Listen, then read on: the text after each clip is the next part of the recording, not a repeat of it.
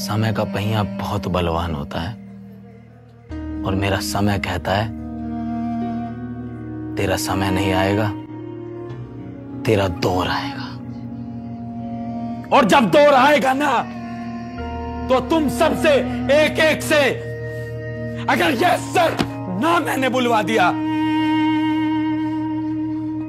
तो मैं भी ना